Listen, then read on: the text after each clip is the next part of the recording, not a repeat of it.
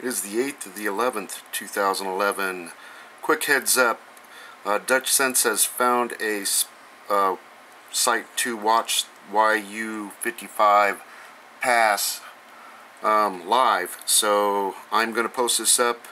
Uh, shout out to She Aliens because I found uh, her heads up on this. So uh, if you want to watch this live, now's the time. Now's the time.